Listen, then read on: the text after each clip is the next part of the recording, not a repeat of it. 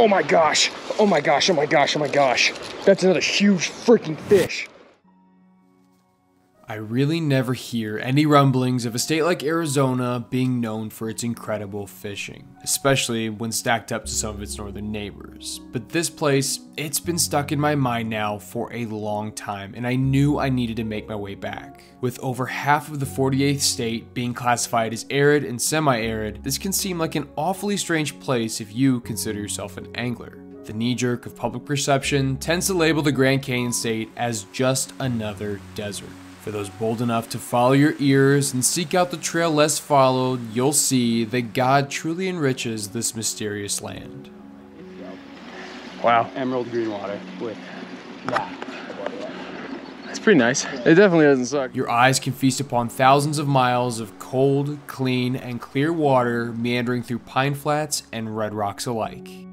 Boundless is truly the best way to describe the opportunities for anglers willing to embrace a little bit of adventure. Be it tiny trickles running out of the surrounding mountains or deep canyon rivers cutting their way through the rocky crag, there's a lot of water. Finding where to fish, that can be the easy part. Getting there, that's what separates the wheat from the chaff. Ankle breaking angles tend to be sharper than the cactus clawing at your body, and very real danger can always be waiting around that next river bend. Holy Holy sh- That was a mountain lion. So you might be wondering, is the juice really worth the squeeze? When you compare the rare native trout species holding out in their isolated drainages to the potential for monstrous non-native fish species dominating the big water, there is such a wide range of angling opportunities for any interest level. That is such a specimen, man. Crawdad fed and absolutely good to go. Between backpacking, truck camping, and simple day trips, I will be joined by some of my best fishy friends to hunt down the unique fly fishing experiences throughout the desert state and trying to document them all. Folks, this is going to be one entire month fly fishing Arizona. I hope you enjoy because it all starts right now.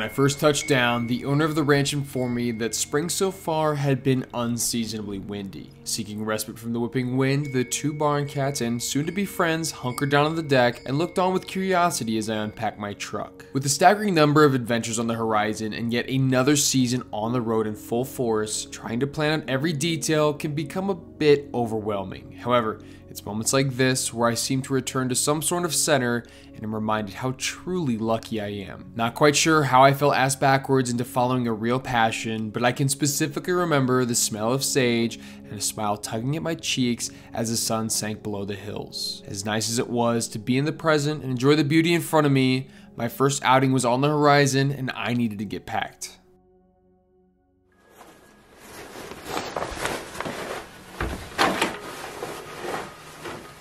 Fishing and filming in the backcountry is always an interesting balancing game because you will always need the essentials like your tent, extra clothes, food, and a sleeping kit.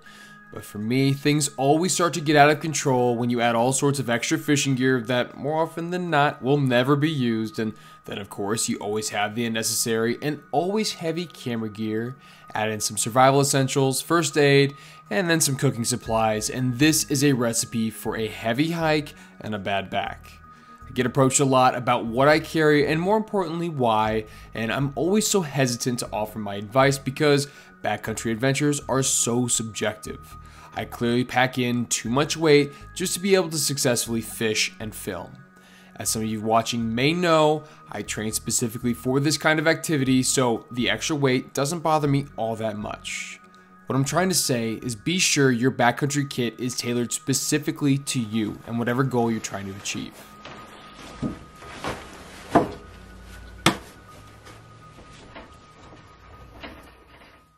Early that next morning, the drone of rumble strips kept me focused on this mostly uneventful drive in. Somewhat surprised and mostly relieved, I rolled up to a completely empty trailhead. Now, it would be a stretch to call this uneven gravel clearing a parking lot, but it seemed like it could hold a few vehicles if needed. All I cared was that it could hold one more because I wouldn't be alone for long.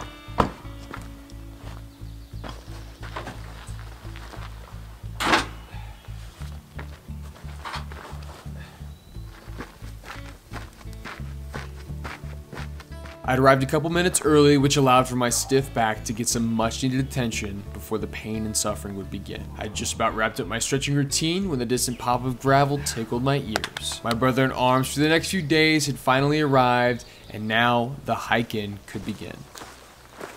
All right, got Jack, got the bags. Trailhead is right there, but we have quite a bit of walking to do, so uh, we're gonna do him in a second. Let's get the hiking. Not so easy.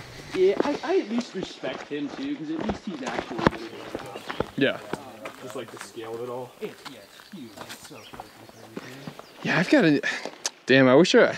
I wish you would have told me you you could have used some uh, backpacking gear, because I, I literally have a small, a small-ish sleeping bag in my truck right now. But yeah, they talk about that and how like busy the rivers got after. The weather's uh, again, dang nice. Look at this.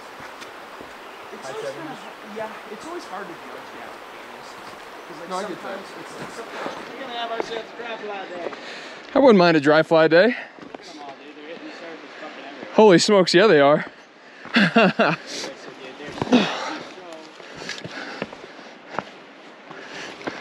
so We're going upstream, right? That is upstream. We're gonna go downstream. We can go upstream, but Oh shit, okay. I, I thought we were gonna okay. That works.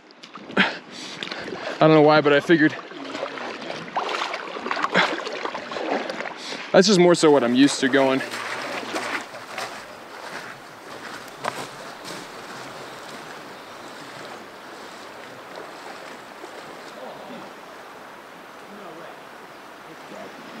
Wow, emerald green water with that that's pretty nice. If you were to smash these two together, would either side fit perfectly, you know?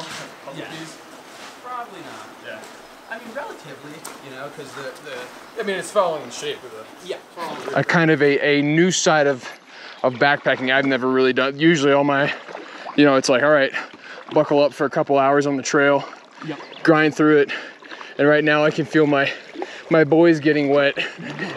Instead, it's a very interesting contrast. For whatever reason, when we planned out a dedicated backpacking trip, I'd prep my mind and body for long miles and a sustained suffering on a maintained trail. To be fair, that's all I've ever done when overnighting in the backcountry. Waist deep wading down this crystal clear river was like nothing I'd ever done. The sheer size and scale of this canyon was mind bending, and the array of hues brought on by the natural splendor was a shock to the senses. It was rather hard to keep focused on that next slippery step with how distracting the never ending canyon walls seemed to be. There was no dedicated trail, which makes total sense looking back. With the way these narrow watersheds run during both runoff and monsoon season, I have to imagine any sort of trail would just simply get washed away. Dealing with the thick brush and shifting rocks, it was no joke. Luckily, it didn't take us all that long to reach a remote section with a phenomenal campsite that we just could not pass up. Yeah, this is this is about as good as it gets right here.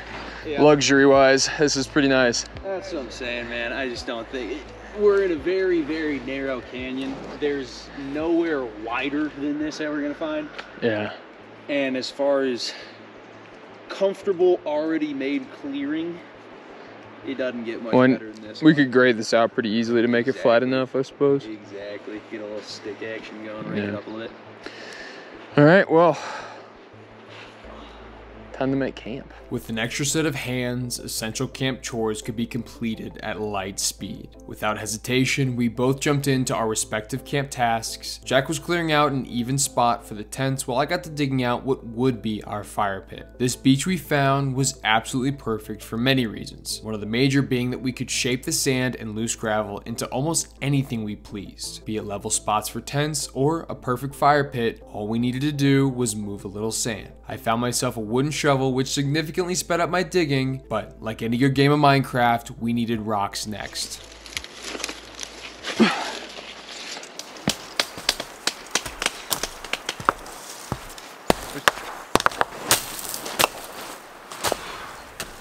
Yeah, that's exactly why I didn't like that one up there though with the brush like that. Yeah, that's fair.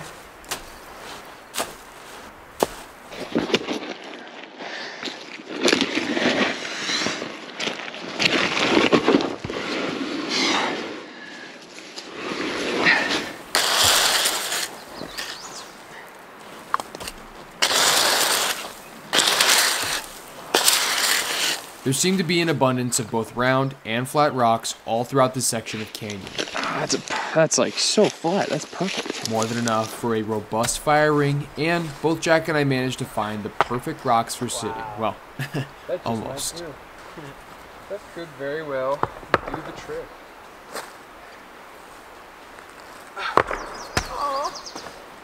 Oh no! You had it! That's You had it all, Jack! Boy, I just love that new tent smell. Oh, is that new? Yeah.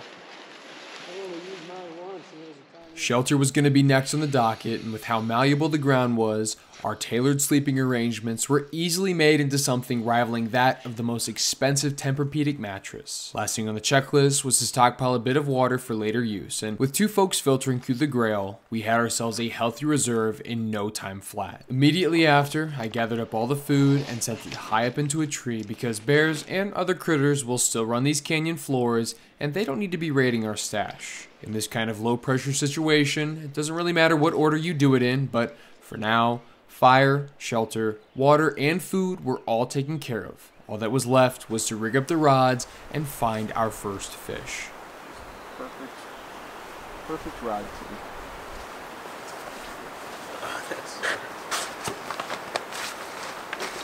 Multifunctional. Thank you, Backcountry Skins.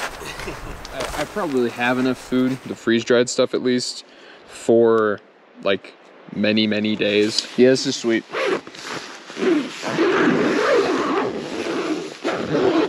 I gotta say, well, there's there's only been a few campsites I've never like, or that I, I have like been kind of mid on. Most of the campsites I feel like I find I'm like, this is actually the best thing ever. It's like, oh, this is well, we've actually found the best place in the world.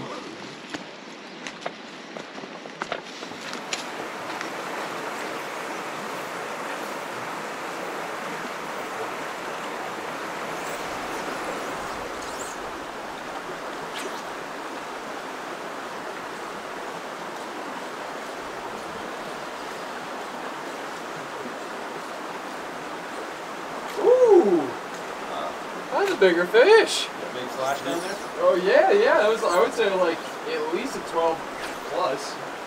Like I said, there's some pretty nice fish in here. They just, they hide.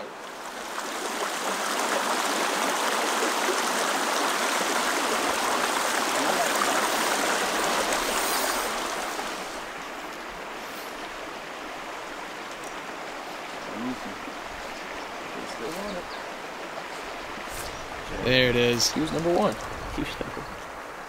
Huge number. Yeah, that's pretty. It's a nice fish, man. Alright. Oh. Majestic. Very graceful. Let's go, dude. That wild rainbow was a great start, but this next fish was one I was hoping to see at some point during this trip. Jokingly referred to as the Verde trout, the round-tailed chub is native to the Colorado River drainage basin and can be found all throughout the southwest. This is one of the few remaining native fish species able to compete fin to fin with the non-native browns and bows that have taken over many of the major systems like the one we are fishing today. As it swam back, Jack told me they use these little guys as keystone indicators for overall health of watersheds. Unfortunately, that would be the only one we could find during this particular trip. This creek, it was mostly filled with small to medium sized wild rainbow trout, super colorful and more than willing to grab a dry fly or a small streamer. I mean, what more could you really ask for? Jack mentioned he would run into the occasional brown, but that required a bit more stealth and throwing some bigger hardware. This would be one of the many examples where, here in the Southwest, crayfish play a key role in feeding the larger fish in the watershed, so it was paramount to match the quote unquote hatch to the best of our ability.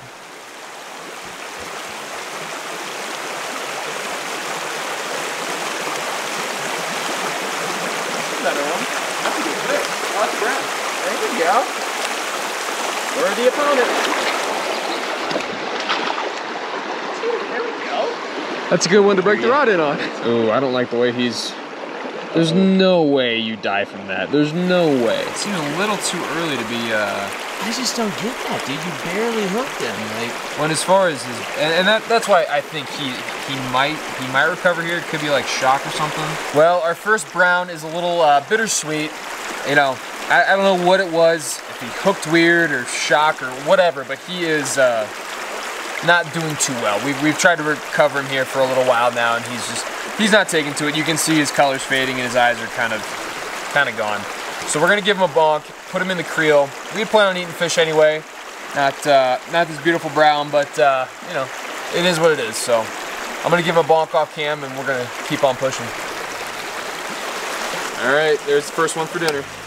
This is the ugly side of fly fishing we all have to acknowledge even though it's seldom shown. By no means am I happy this brown had to die, but you won't see me losing much sleep. We originally planned on keeping fish for dinner anyway, and plucking out a few mid-sized fish can help with the overall health of a system. Plus I think wild browns are some of the best tasting freshwater fish out there, so just know this non-native loss will not be in vain. Moving upstream, I was hoping to avoid that happening anymore, but we kept our fingers crossed we could run across some of the larger and more reclusive browns that were supposed to lurk in these waters. I'm not happy about this. Oh god, my knees. Oh my gosh, oh my gosh, oh my gosh. So a, a little, a little one came out and chased it, and some about like that came out and ate what was chasing mine. That was insane. That was a huge fish. With the shadows getting long and the bigger fish in the system evading us, we had a mostly empty creel that needed a touch more attention if we were to fill our bellies for the night. With the fishing in general being rather tough, we stopped big fish head hunting and buckled down for a few more decent rainbows. Downsizing the streamer certainly helped me get more bites, but none of the fish I found were worth eating. I was glad Jack was a bit more dialed in because he filled out the rest of the bag right as the sun decided to leave the canyon floor for the day. Perfect. Nice. Way to go, way to go.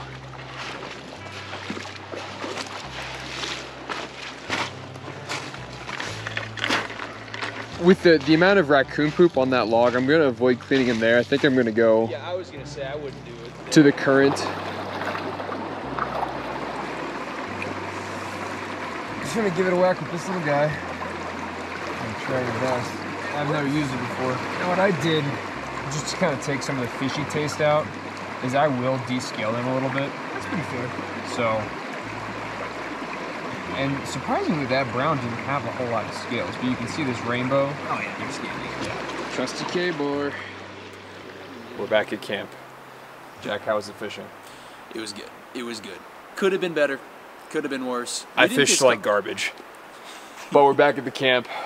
We need to get some firewood. The fish are all cleaned up. Our hands smell fishy, and our stomachs are about to be full. But first, yeah, we definitely need to get some fire for the evening, firewood for the evening, I should say, and uh, yeah, keep this ball, keep this camp ball rolling. Do you got the fire making tools you want? Yep, I got everything I'll need. Okay.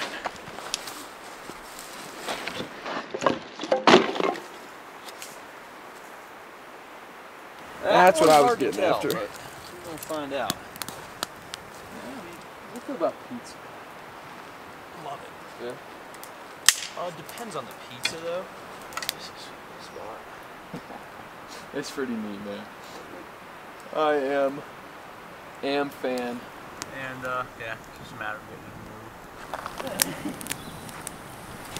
it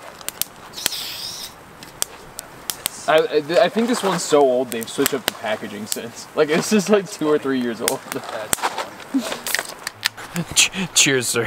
Smoky cheers. Oh. Dry clothes and the warmth of the fire were an absolute luxury after being wet from the waist down for most of the day. With soft sand tickling the toes, the only thing left to do was usher in the sounds and smells of a backcountry dinner. Night in the canyon was coming on quick, but our bed of coals was plenty warm at this point. Now, some of y'all out there might be rubbed the wrong way at the sight of these lifeless trout wrapped up in foil, and when taking fish, context is key. This is a lightly traveled canyon, and as you can see, the overall fish size was slightly stunted. With limited predators, places like this have a tendency to become quite crowded with underfed and undersized fish. This sort of phenomenon is very similar to what happens in a lot of high mountain lakes out west, and like I said earlier, taking out a few of the mid-sized fish in the system can improve the overall health of the watershed and when paired with lemon and butter, it's an absolute treat for the angler. Bag limits do exist for a reason, folks. So between the fresh trout, freeze-dried meals, and a staggering amount of marshmallows, we were eating like canyon kings. But with bellies full and eyes heavy, this day was certainly nearing its end. All right, Jack. It does not seem like we're gonna stay here another night. It's not looking good. The It's fishing is eh, a little bit to be desired, so we've kind of pigged out on our extra food and a little bit of extra secret sauce. There's there's ups and downs to leave. Well, cheers. The burning nostalgia on the way down helped ease the muscle fatigue of a long, long day. Drowsy eyes didn't last much longer in the dying light of our secluded Red Rock Castle, so we retired to the tents in hope for slightly better fishing tomorrow. Swift as the twilight and sluggish as the dawn. Sunken deep down into the earth, these colorful walls were robbing us of important hours and valuable warmth. With shortened days, it might have been a good idea to push hard on either end, be it fishing into the night or waking up before the sun. But after that hellish hike in, sleep is probably more important. So, to fight the cold, I shared a bit of breath with some of the lingering coals from last night. We were already late to rise, so there was no point in rushing. The fire would at least aid in shaking off some of the lingering chills of the night. The sitting bag trapped over here, so if I shift it around to support the night, put in a bunch of air, like heat up again,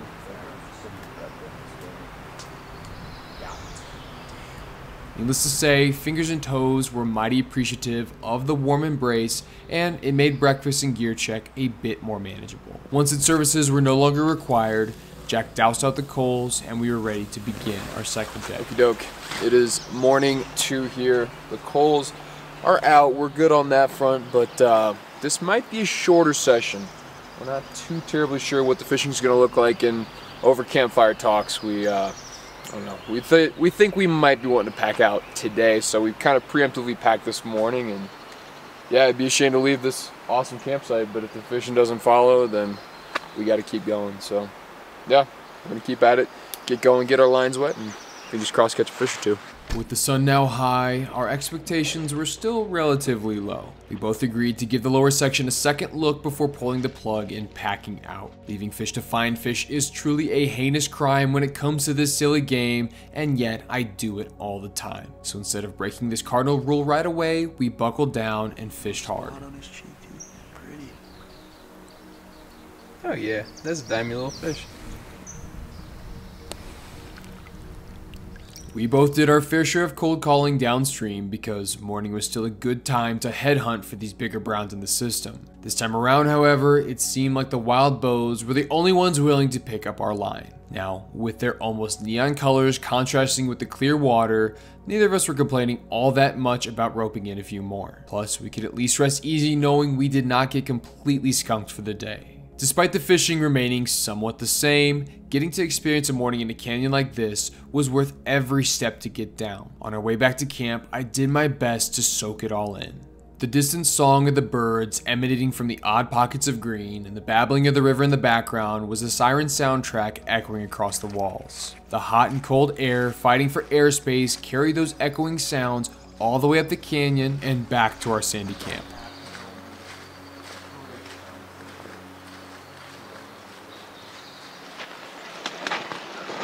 Home sweet home. Well, the morning session went about as uh, about as good as what we expected. So it's time to get the tents, get the rest of the camp cleaned up, and we're gonna. I think we're gonna move to Plan B. I hate the feeling of a second pack. Because the first pack is always very tight, nice and organized, weight distributed correctly. All right, let's go. Jack and I tried to remain as level headed as possible about our extraction forecast. In theory, we should have plenty of time to pack out, drive to a plan B, and then fish out the rest of the day. On paper, this seemed like a good idea, but I've got to admit, all the numbers and figures we discussed started to crumble under the weight of my heavy pack, and this right here is the double edged sword of overpacking. With such a quick turnaround, my body wasn't exactly recovered from the initial hike in, and not long into this upstream march, I was already really feeling it. I'm pretty sure it was somewhere in between the alternating quad cramps that my mind just went completely blank as I did my best to crawl out of this hellish crack. Bear with me here as I try to explain this feeling. MMA is by far one of my favorite sports, and I'll go out of my way to catch every single UFC card I can. A phrase that's often used between both the fighters and commentators alike is biting down on your mouthpiece. Essentially meaning gutting something out, grinding it out, eating all of those punches so you can keep pushing forward and win that fight. This climb was about an hour of just biting down and grinding through. But somehow I managed to make it topside without falling back down or tweaking my back in some weird maneuver. So I consider that, in and of itself, a massive, massive win.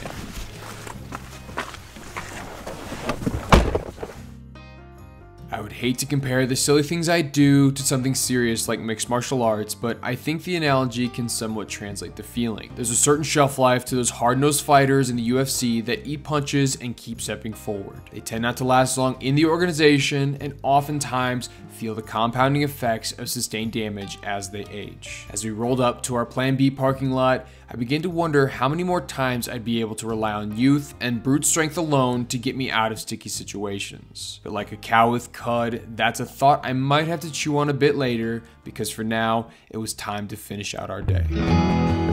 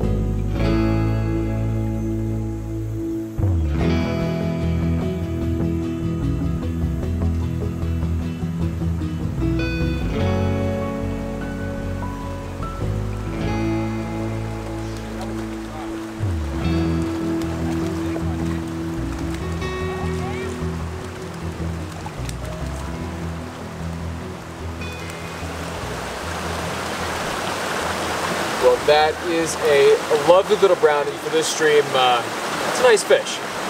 Very surprised that he ate the dry, but very, very happy.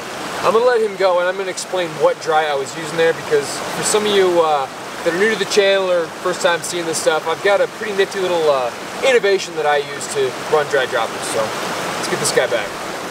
This little yellow guy might look like a normal uh, stonefly or hopper, big rubbery attractor kind of fly. Um, but I tie these to be adjustable. So as you can see, this slides up and down. I've got my dropper here, but this can still slide freely along my leader and still is strong enough to pull out that very feisty brown out of some, I would say, pretty fast water. But as you know, editing Mike will whew, magically put up the videos here. We've got the how-to and then also the FAQs. So you can uh, get all your Fly All Season adjustable dry dropper needs uh, seen fit there. And yeah, I love this pattern. It does me well. And I think that was my first official one of the year, which is very exciting. So yeah, can't wait to catch some more. Let's keep moving up. Really catching our stride at this Plan B location, we both finished out the day with some excellent small stream fish. Jack managed to trick one of the best rainbows of the day, and I must say, the dark hues and pronounced parr marks had me swooning from behind the lens. Not long after that fish swam back, I capped out the day with a lovely little creek brown that was equally as beautiful, just in its own way. Rich buttery browns with a smattering of haloed red spots was quite easy on the eyes. Any further upstream, the creek looked like it was starting to get too small, so we made our way back to the cars and Jack and I bid each other farewell. It was time to lick our wounds and replenish the gear. The following weekend would be coming on quick and we had another big adventure planned out.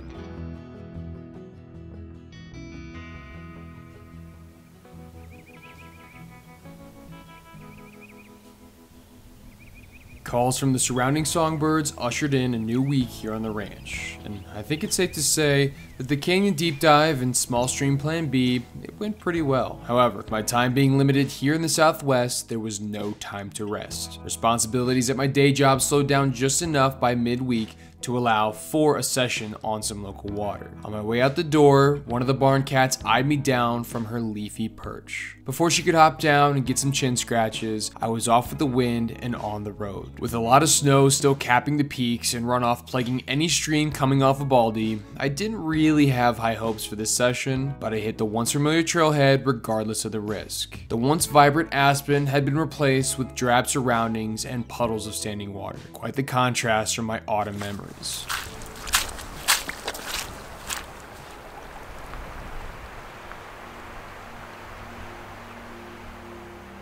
I was at this very spot not but a few months prior, enjoying the true splendor of the changing seasons here in the White Mountains. I personally knew the elusive Apache trout swam in these waters, and I'd physically touched them for Pete's sake. Despite this irrefutable fact, the current conditions of the creek had me thinking there wouldn't be a single fish willing to eat for at least a few weeks. But since I was already here, it would be silly not to give it an honest shot and at least work on some runoff fishing skills.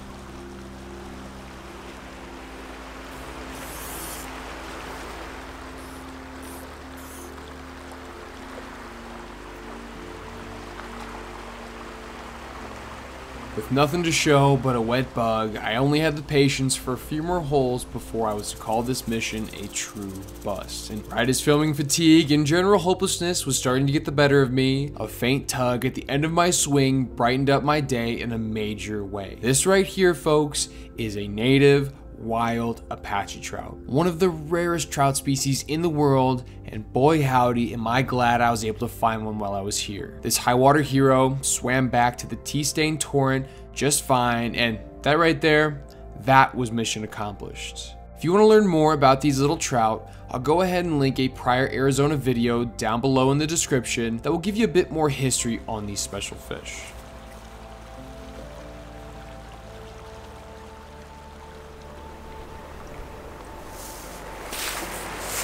Well, another group of anglers decided to uh, jump right in front of me. Maybe it's a miscommunication, but uh, I think it's time to uh, move downstream or switch up spots. The feeling of getting high hold on a long system like this was about as uncomfortable as the cold muck squishing between my toes. They seemed relatively new to fly fishing, so there was no point in berating their somewhat inconsiderate actions. It was just easier to leave. There wasn't all that much else to note about this particular adventure, seeing as my plan B was even more blown out. Again, just because I was in the neighborhood, I decided to go back and give it a quick stroll, despite the water levels reaching well past its banks. In reality, that one Apache trout was really all I wanted. This beautiful sunset and an evening revisiting old places was purely a cherry on top. That strong wind still carried the wrath of winter, but with each day, that sun was bringing a little more spring. The distant calls of returning songbirds was the telltale sign of warmer times to come here in the high country of Arizona. It was just a bit of a shame I wouldn't be around to witness it myself, but that's a regret I couldn't dwell on for the moment because another fishy weekend was well on the horizon and I needed to buckle down.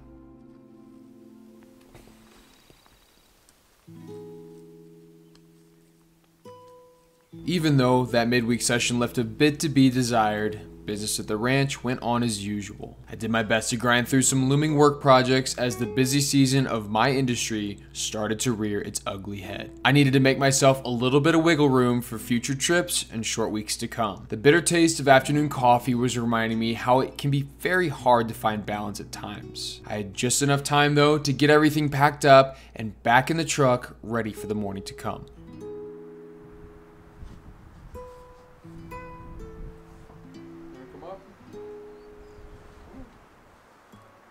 Hard to tell who was training who at this point, but my Pavlovian practice of sitting out on the deck each night and watching the sunset had become a ritual with the cats. The cat I called Gatito would nuzzle up with me on the deck chair, while the other one I called Gato would hover around the deck watching the horizon. I would like to think they enjoyed my presence while I caught up on some underwhelming literature weighing down my luggage, but this hour or so of decompression was easily one of my favorite parts of this trip. Obviously, I was here to fish and document each unique adventure, while catching up with some old friends. But I find that little moments like this really stick out in my memory. The silence of the evening breeze was only interrupted by the sounds of the night birds ushering in the blue. And occasionally the cattle would pass by, or a wisp of a coyote could be seen in the shrub line. And for those of you who don't know, I have a particular soft spot in my heart for other alley cats out there in the world, so the warm cuddles of my wandering companions were more than appreciated. But that's quite enough on that.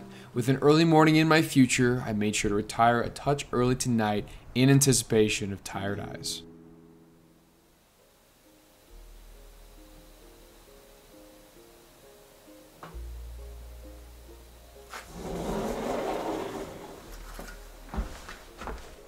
Like a distant spotlight, the bad luck of a full moon was shining down strong on the ranch. Most of my more difficult outings have some sort of statistical significance with a previous night's full moon. Regardless of the sinking feeling in my gut, I hit the road and made my way towards the rim. The copious signs warning of animal danger were more than warranted because there were a shocking number of elk moving around major roads. A few new misses had me relieved to be stationary and back with Jack for our second weekend on the water. Is this her? What's going on, man? Yeah. Brother, man, good to see you. Do you, uh, are you gonna be packing today? Huh? Are you packing What do you mean? your firearm? Oh yeah, probably. Yeah, okay. Um, if you're gonna pack it, then I'm probably gonna leave mine. Yeah, I don't blame you. Really only need the one. Yeah. I think they've got they got a whole lot of other problems go, to handle first. The yeah, the whole online thing just being absolutely broken. As long as she doesn't talk. Scottsdale blonde for Well, guy, well, well, wouldn't I like to meet a Scottsdale blonde? Come on now, That's always my. That's my, a- my two favorite things. that's a good one. says ultimate icebreaker, Scottsdale blonde.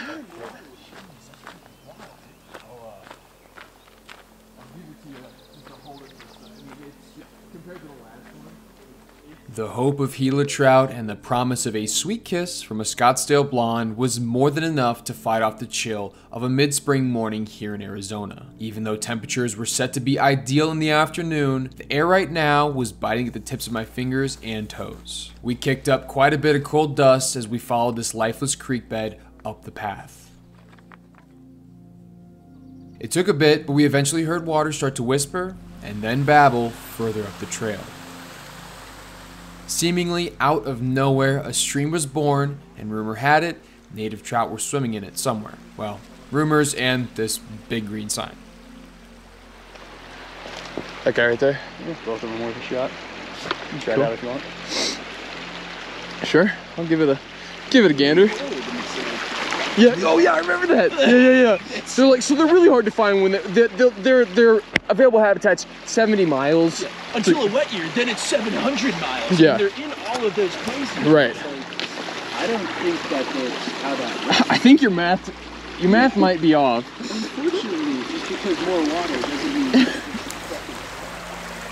We usually start off pretty slow down here. I'm not expecting too much for the next like quarter mile or so. Um, but then once you get up further, there's just more water, more water comes in.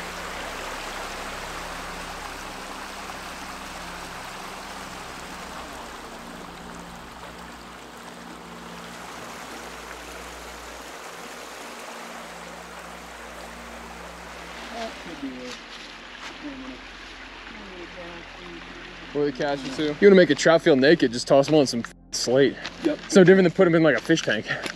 They're like, oh my god, this is not this is so unnatural.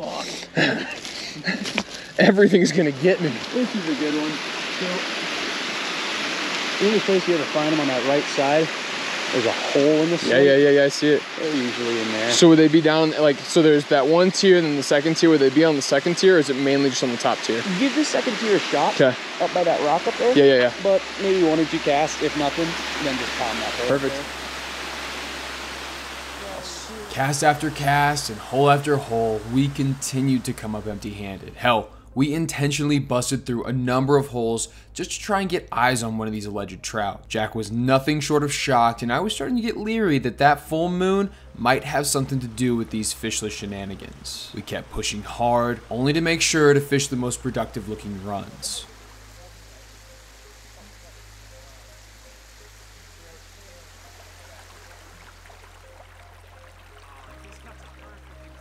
We were clearly getting desperate or just downright bored because at this waterfall, some critters in the water caught our eye. Plucking these artful mobile homes out of the water to get a better look, I was taken back a bit at the sheer size of these case caddis. Even out west, these would be considered big ass bugs. Jack informed me that these were fairly common throughout the rim streams here in Arizona, and returning them safely to their bedrock homes, we clambered over the waterfall and started talking about potential exit strategies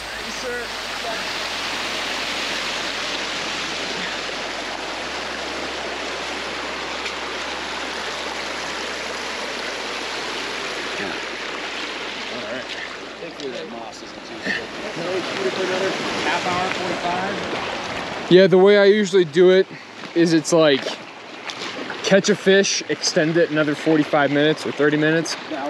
So if we within the 30 minute window, we hook or catch a fish, extend it and extend it and extend it. Much like the morning chill, our faith had all but faded at this point. Just out of practice, Jack approached yet another fishy looking run and gave it an honest cast. After a few empty passes, I made the mistake of shifting camera angles, and wouldn't you know it, the AZ kid was hooked up. Yes! Lord!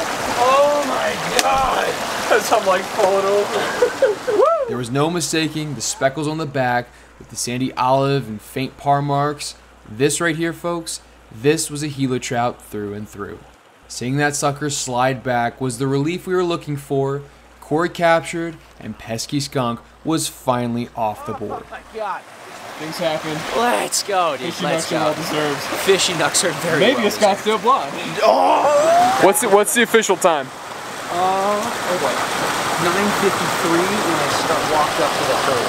9.59. 9:59, and we've been out here since like seven, six. Well, Six- 6:30 probably. Yeah, six, yeah like 6.30, 6.45 down on the water. Zoinks. That's a hard one. That's a, it's a well-deserved. Hard-earned Gila, yeah. Holding a bit more confidence in our cast hitting home, I went back to fishing any and all holding water that had the potential for life. Ironically, in a mostly inconspicuous side pocket, I finally managed to hook up with my first Gila of the day. Well, I was a little worried, just a little bit. I would say like one out of ten worried that uh, I might be holding on to a skunk, but that, ladies and gentlemen, is my first Arizona Gila trout.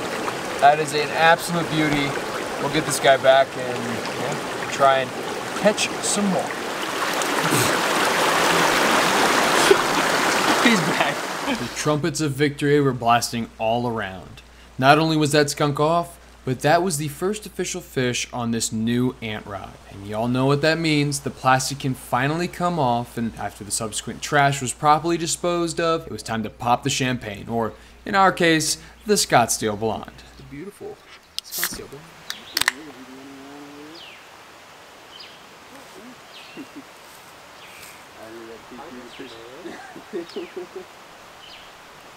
Sipping this lukewarm beer paired perfect with a local lizard entertainment, but once the show was over, it was back to business hunting for more Gila. Oh, how could it get more perfect oh. than that? my God! Like, my God! It doesn't get better than that. That's a medal. I, you no. put a chain on that, I'll, I'll wear that. No, literally. That's no. a that's a freaking medallion. Come on,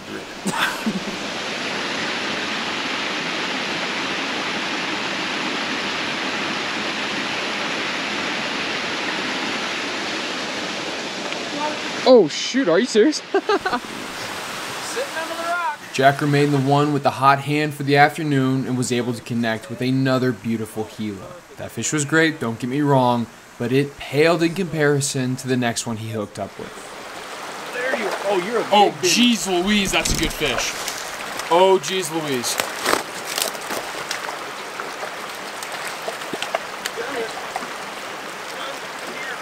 Oh, hot dog, look at that. Oh, no. Oh, no, I spoke too soon. Oh, no, Jack, I'm so sorry. You know what? That was in the net. I'm gonna count that. I don't give a oh, shit. Oh, my Lance, that was a fish, dude. That was a beauty, dude. That was like 11, 12. Damn.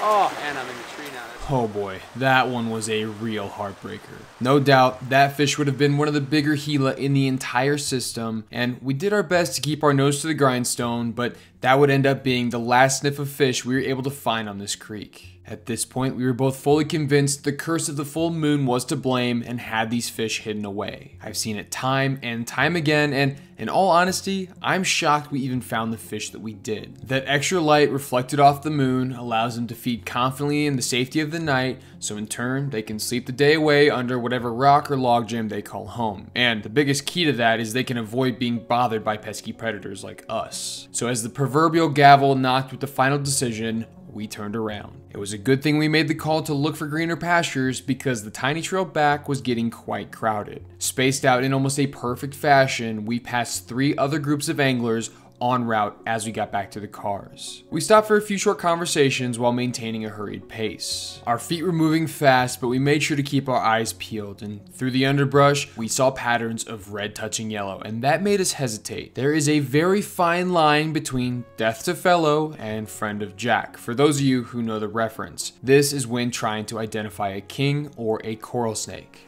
But after a bit of banter, we soon realized that we were working with a red touches black, and therefore it was truly a friend of Jack.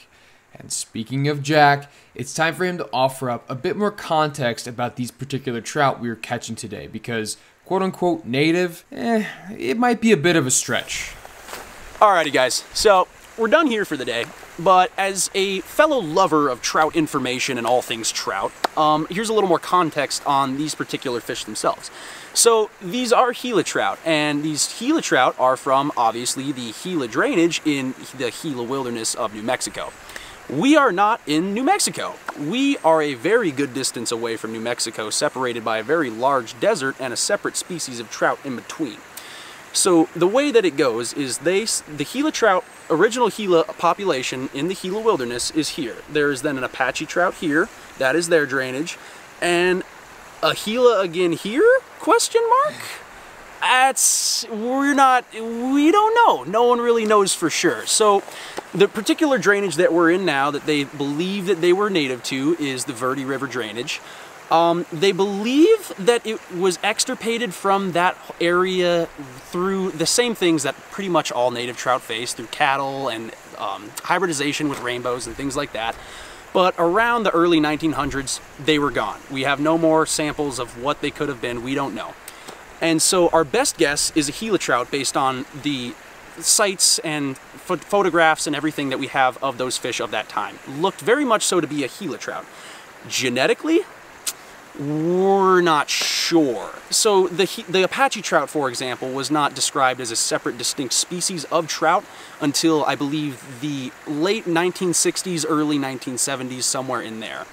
And so to say that this is for sure Gila trout native water is very wishy-washy. Is the trout that once was native here, was it very similar to a Gila trout? Undoubtedly yes. Could it have been a subspecies of Gila trout? Undoubtedly yes. But is it certain to say it was a Gila trout? We aren't positive. However, is this an awesome resource that we should totally take advantage of? 100% there are, no, uh, like I said, the quote-unquote Verde trout that was once native here is gone. It is extinct, unfortunately. And so there is a gap here to put into a native trout species. And so your best bet is going to be the closest relative to that trout that we once had, which is a Gila trout. Hence why we now have Gila trout in this particular drainage. Thank you for listening to my trout talk. Little facts like this are just so interesting to me, and I love learning more and more about the different trout species all across the United States. As beautiful as these wild trout were, quote unquote native, eh, it might not be the best way to describe them. But one critter that is very much native and I've personally never seen in the wild would be the horny toad. On our way back to the trucks, this little lizard caught our attention and was mostly unbothered by our presence. After we bid that little dude farewell, we hopped in the cars and headed towards a surefire plan B to finish out our day. So this is her. She's pretty, dude. And there's fish right, like right there. Heck yeah. I've, yeah. Well, I can I can dig it. I wouldn't mind a little dry fly action. Oh, I think. Would that be too much to ask? Probably digging this some here. Um, they were eating mostly nymphs last week. But um, I did get probably 30% to come up for the dry. I'll take 30. Hell, I'll take Every, the way I see it do every week, there is more and more dry fly action the warmer it gets. Too. Well, I'm seeing ants, I'm seeing spiders, I'm seeing all sorts of critters running I've already around. a hatch going off down there on the water too. There's definitely bugs out there. Yeah. If I were a fish, I would look Oh, oh, if I were a fish. A lot of folks would see this tributary as nothing more than a time wasting trickle, but this is yet another one of Jack's honey holes here on the rim that is full of reliable rainbow hybrids. Now, to the common eye, it might be hard to tell these trout have something slightly off about them. However, with the off coloration and the speckle pattern, you can tell these ravenous little fish are hybridized. With what exactly? Well, that is the million dollar question. The previously discussed quote unquote Verde trout used to swim strong in these waters, and we personally think that some of their genetics are still displayed in the flashes of pink and green attacking our bushy dry flies.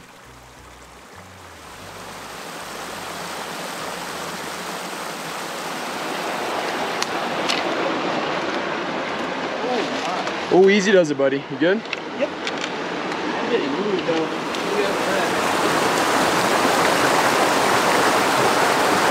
There it is.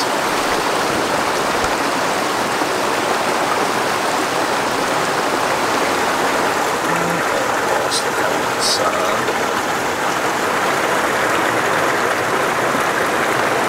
Good stuff, dude. Sick. That's a good bow. That's. Hell yeah, man. That's what it's all about right there. Exactly. You, have a lot more repetitions, I guess. Yeah, guess. hundred percent. Because yeah, if there's only like the big ass long holes, it's like, oh god. yeah, the pressure's on, you got to perform. Yep.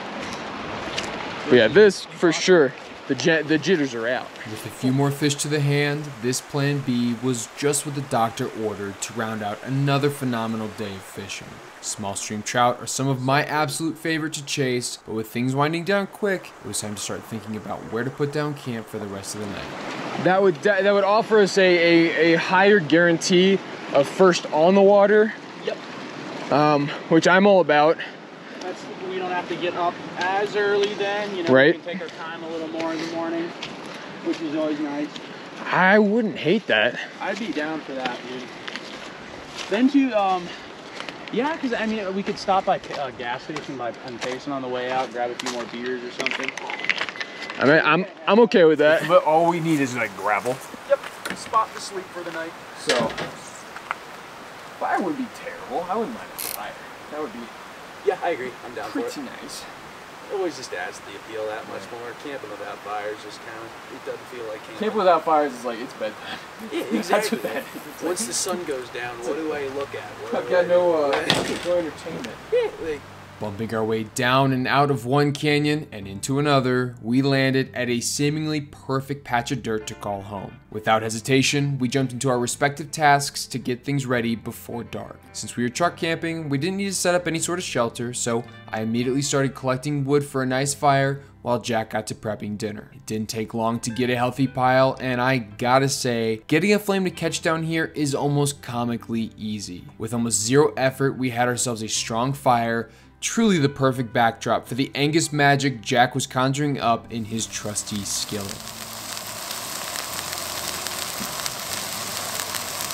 As beautiful as it gets, I would say. He's on the boy, go. They're a little more on the well done kind of guy. You could make that into freaking shoe leather, and I'd eat that. You can make it.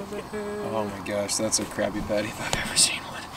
praise, praise Mr. Krabs. Outright gluttony after a full day on the water is one of my favorite itches to scratch. Guilt free calories means extra burgers and Clif bars are only encouraged to quell those stomach pangs. And hey, while you're at it, you might as well wash it all down with an ice cold beer.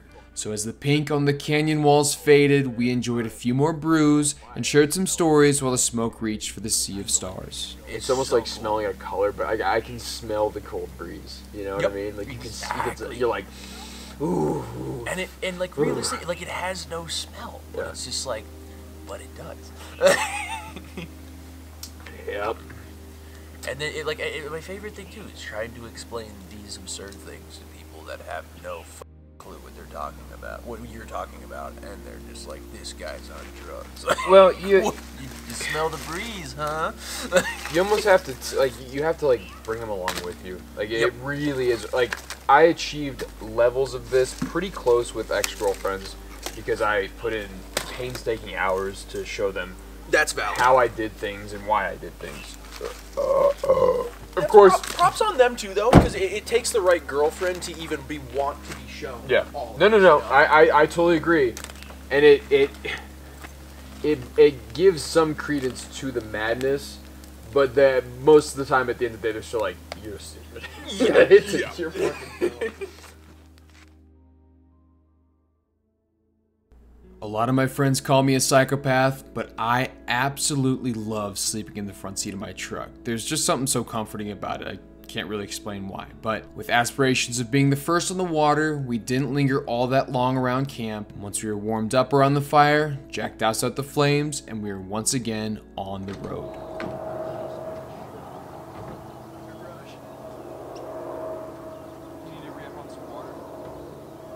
Just figured out for a while now, nobody's just done it. Yeah. Oh wait, that's how a business starts. Oh wait, I'm, I have seven billion dollars now. Literally.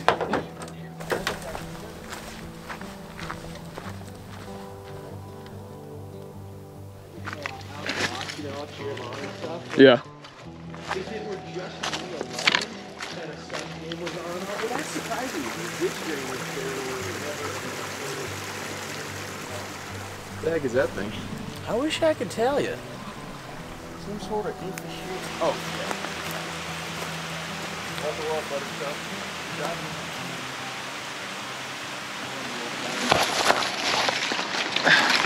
Oh wow, look at that! Oh, that's phenomenal, dude.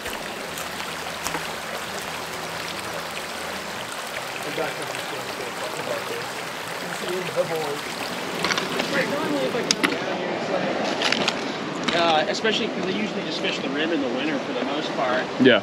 and so there's just less people. And thousands of years, they've timed out their nesting t- uh, period to coincide with the sucker spawn in the Salt River down there. Oh, that's so cool. You mean it's like nature knows what it's doing? Exactly. That's sick. Getting down to the river was relatively fast, but the morning bite was so slow. This gave us plenty of time to look around and pick up some clutter near the trail, and speaking of which, this would be the perfect opportunity for future Mike to offer up a rubbish PSA. I think this would be a good time to talk about trash. This entire trip, I've been doing my best to pack out as much trash as I possibly can. I get it, it can be a little bit extra, and what's picking up one wrapper here, one tin can there. If enough folks do it, it actually means something. Obviously, you should abide by the pack it in, pack it out rule set, but don't be afraid to pack out a little bit extra. The trails can sometimes get full of clutter, and it sucks being out in the wilderness and seeing something like that. So, if you outdoorsmen, hunters, fishers, hikers, campers alike can do a little bit to help, well, it can add up in butterfly effect, so to speak. So, yeah, that's my my quick PSA. I'll step off my soapbox now, and uh, yeah, keep on keeping on. Another one. That's a that's a full bag, baby. We're getting that. With that out of the way, and a bit further down the trail, Jack managed to confront our skunk at a lovely looking pool. Two rainbows were the result, one on the stubby stalker side, and another with crimson sides and intact fins. Just the prospect of wild rainbows got my blood pumping as my heart beat now to a hurried pace. It seemed like the morning bite had started, so it was time to get serious. And like an answered wish sent down from the heavens above, my reliance on foam, being home, sent my first wild rainbow screaming into my net. With endless speckles and blushing cheeks, this wild trout kicked back strong into the canyon current. The radiating heat was quickly making air temps more comfortable, and the group skunk was no longer a worry for the day. It was time to keep pushing downstream.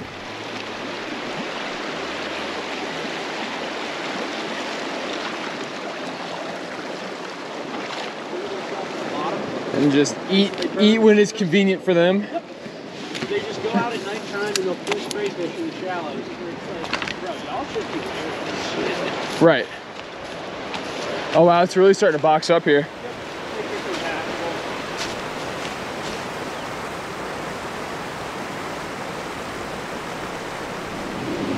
Yeah, could you hold that for a sec? Let me flex my upper body strength.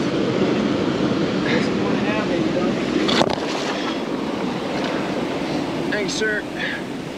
Without so much as a bite from our canyon pinch point, I was a touch flabbergasted. The depth and current alone had me thinking this would be a multi-fish run, and I mean, it just looked too juicy to only find a big fat goose egg. So, with no more room to go downstream and midday now nipping at our heels, we began our pocket water campaign with a fair bit of canyon success.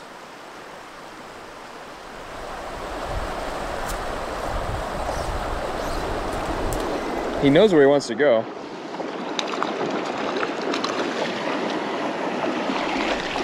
Ooh, nice.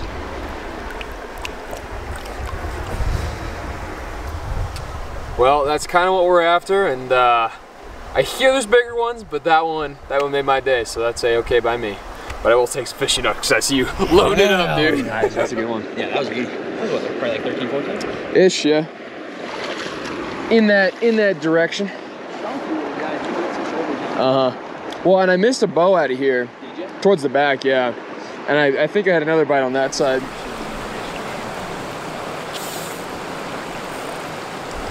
Yeah, there's got to be more bros sitting up there. That feels like a better fit. Pretty beautiful, man. That's part of it. Nice. This guy. Yeah, no, we, yeah. Okay. the perspective was weird. I didn't know if we could reach it. Hey yo, hey yo, hey yo, hey hey hey hey hey! What the f is that? Is that a coati? Where? Do you see that? Oh yeah, that's funny. Whoa! Have you never seen one before? No!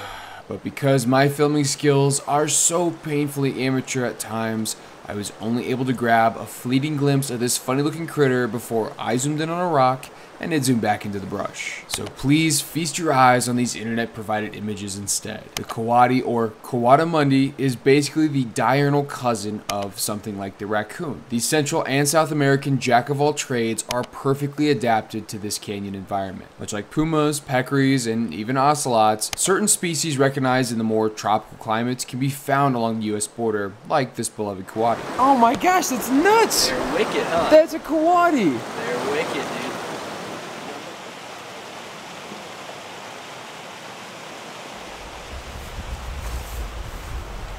That's nice to it's a little quieter. Yep, exactly. Nice and quiet, sandy. Oh, oh, that's nice. Crisp, clean, refreshing. No free shout out, Huss Brewing, but free shout out. Not in a Coors, because that was the last uh, Blondie, so Oh, you packed in a, he packed in a, we're doing it right, baby. cheers. That's old school packing in the, the bottle. Soft and warm, our beautiful beer beach proved to be quite the fruitful stopping point. I was feeling the flow of that lovely Scottsdale blonde, and after two quick fish pulled out of this nice drift, my timing was really starting to get dialed in. Like when, when you know it hits that good drift, you're just like, Exactly. Mwah. When you know it's like going, like when you know your nymphs are dragging through that money zone, like right then, and it's like, oh, You're like, oh, I think there oh, might be a oh. fish there. I think I know you're gonna be there. Like that. right there. Now that's now that's good audio. That's perfect, dude. That's funny. Oh, hell yeah. You're messing up my line. Goodbye.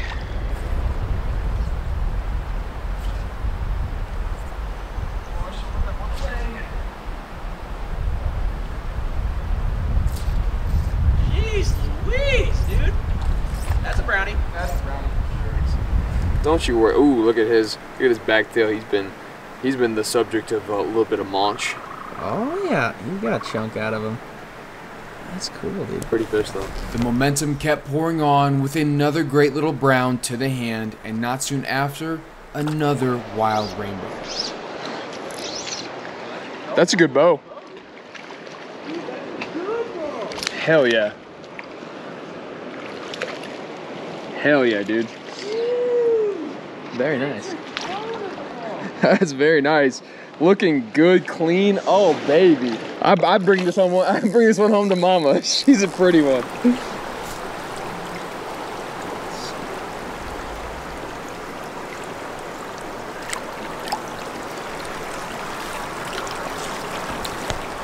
That deserves some fishy nuts. Let's go, dude. this Let's go. afternoon is like it's picking up big time, man. Oh yeah. This afternoon we still got a lot of day left.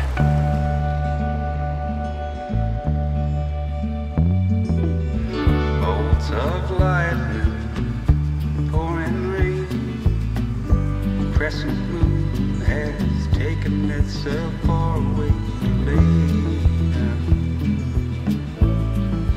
One more lazy That's awesome. This afternoon is really turning around. This is a lot of fun. Jack, thank you for the assist on the net. That was big time. Let's go, buddy.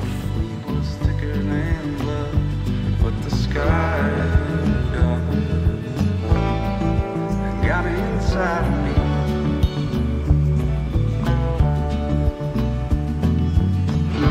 I still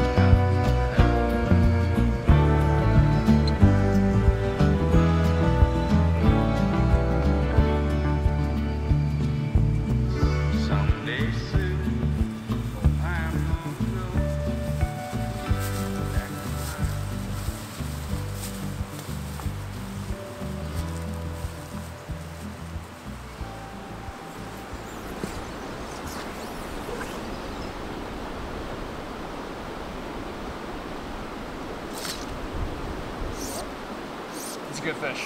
This is a good fish.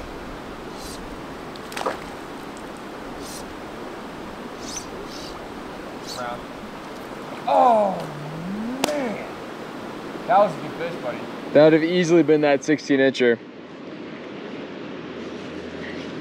Couldn't keep it together. All good things must come to an end. Yes, it's true. This day had far surpassed any sort of expectations I'd packed along with me, and I think Jack would agree we had ourselves a killer day. One more run was agreed upon, and I did my best to make the most of it. Methodically, I managed to work my way up the left side and pick off two stellar rainbows sitting in the back of the pool. Looking through the mirage of the cascading current, I could see a few well placed boulders that looked primed and ready for a brown trout hiding spot. And hey, wouldn't you know it, I found myself a dance partner with this next cast. With space to squeeze quickly running out, I flung some well placed faith high up in the run and bagged myself the last rainbow of the day. There he is. Just, just uh, drop the indicator just a tad. Oh, bro. That's a gorgeous. Might be that way. That's one of those satisfying angler moments where it's like, "Ah, I'm gonna give it one more cast. I'm gonna drop the indicator. I'll give it one more cast, but let's just see. And And then blue. bingo. Stocky as stocky gets, man. He is I mean, I don't know. This is a good run. Great run. In the angling world, it's awfully tough to crack two home runs in a row. But somehow, as Jack and I were dodging cactus and clawing out of this drainage, We were rounding the bases yet again, and the proverbial crowd was going wild. I'm forever grateful for fishy friends like Jack who are willing to bring me along and share some amazing trout fishing experiences. Learning the land and exploring the history of these lesser known fisheries only adds fuel to the fire of this silly little passion I call fishing. This would unfortunately be our last outing here in Arizona, so I bid Jack farewell until the next time we could share the water.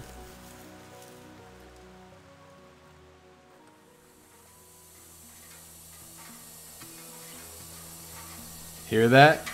Yep, that is another tire loss to the Forest Service roads of Arizona. Oh my gosh, so much for the morning bite. Hilariously, I was only 10 minutes away from the trailhead parking lot where I was going to start my day.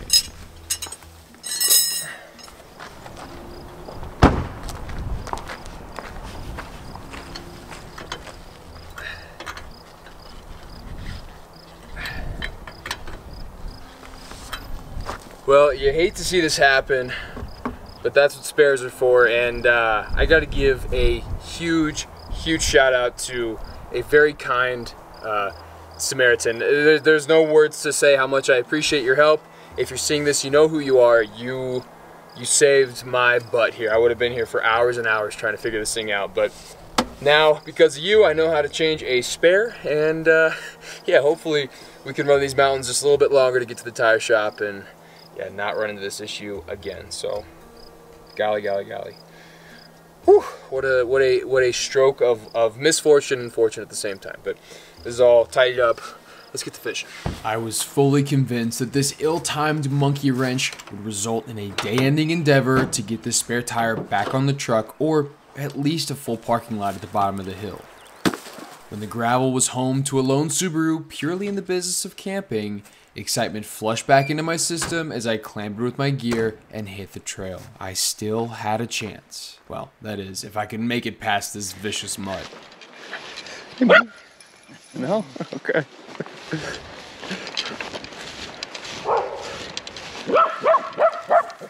The ill behaved camp dogs were literally nipping at my heels as I started down the lightly worn path. Now, I'd never fished the system prior to landing in Arizona, but I've read extensively on what it has to offer. Given the right conditions, the potential for big fish was very much in the cards. The now speedy lizard scampering across the trail told me that the morning bite, if there was even a morning bite, might be reaching its mid-morning meltdown. But with the crawdad claws strewn across the gravel bar, I felt like I had some sort of casting chance to cross paths with a breakfast-seeking brown trout.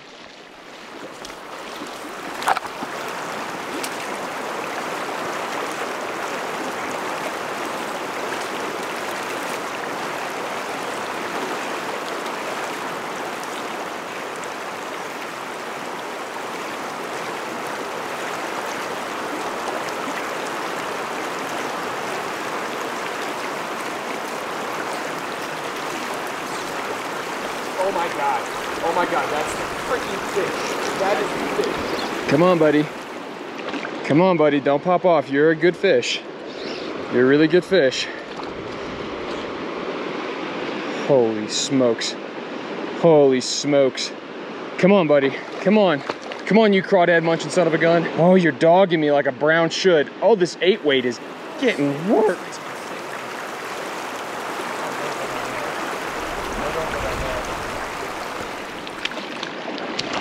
Oh my gosh. Oh my gosh. Let's go. Whoa. Let's go. You're a donkey. You're a freaking donkey boy.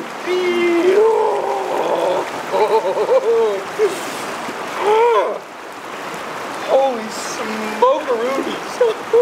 oh my god. Oh, zoinks, Scoob. We got ourselves a mystery. Well, as you have probably seen, it has been a hectic, hectic morning. Kind of a very much impromptu trip down here. And I've heard rumors and I've been looking and I had a freaking hunch that this would be worth it. But when that tire popped, I was like, great, there goes the day. What a waste. But, ladies and gentlemen, this is an Arizona Brown. This is an absolute beast. I mean, come on, folks. That is an absolute donkey, man. Holy smokes.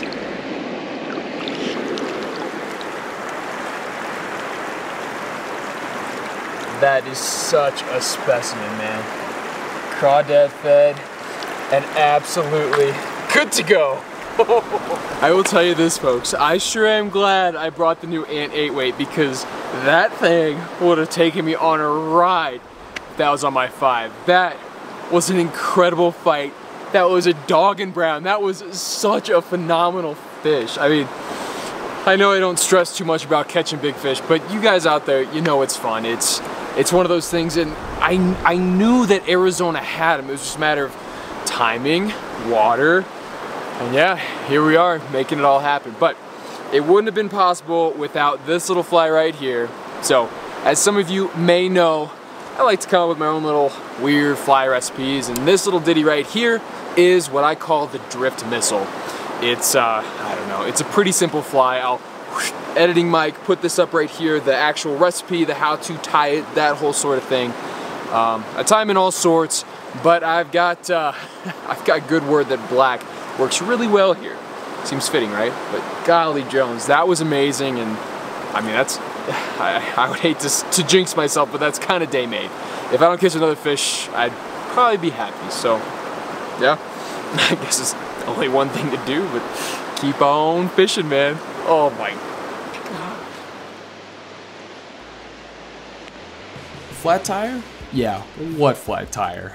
All of the distractions from this morning have been wiped away in a matter of minutes. I find it so dang funny how the cosmic blessing of a nice trout can douse out the smolders of anxiety threatening to make a massive fire in my mind. The sharp bite of the thorny underbrush no longer registered, and this day could be considered a massive win regardless of what else would transpire. And just because of the angler I am, superstitions did get the better of me because I felt the strong need to save that drift missile and switch up to something fairly similar. As the afternoon moved in, I felt the open door of the morning bite close on my face. I ripped through quite a few more runs resembling that of the first without so much as a sniff from any of the resident browns. After a quick bit of rehydration, I decided to switch up my strategies instead and target the faster moving pocket water further upstream.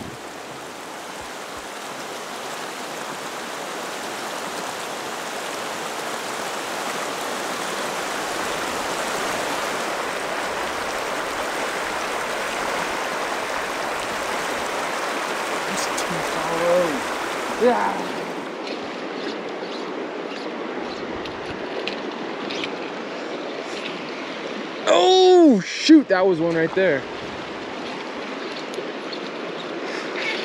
There it is, nice. Not a one trick pony.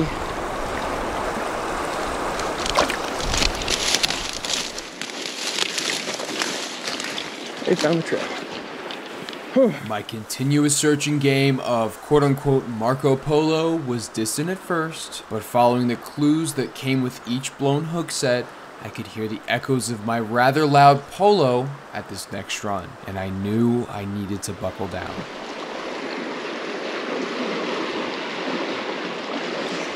Oh my gosh. Oh my gosh. Oh my gosh. Oh my gosh. That's another huge freaking fish. Oh my gosh. Oh buddy. Oh buddy. Oh buddy.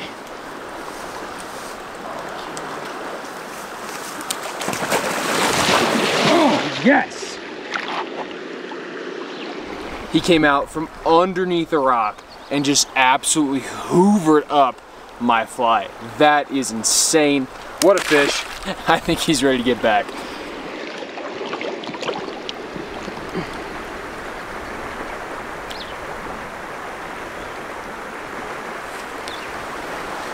But that is yet another big brown back in the drink and my golly gosh.